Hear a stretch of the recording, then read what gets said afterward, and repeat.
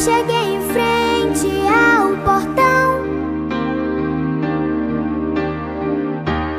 Meu cachorro me sorriu.